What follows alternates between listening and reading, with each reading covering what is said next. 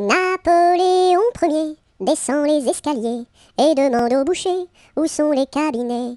Le boucher lui répond, espèce de cornichon, quand on est capitaine, on pisse dans les tonneaux.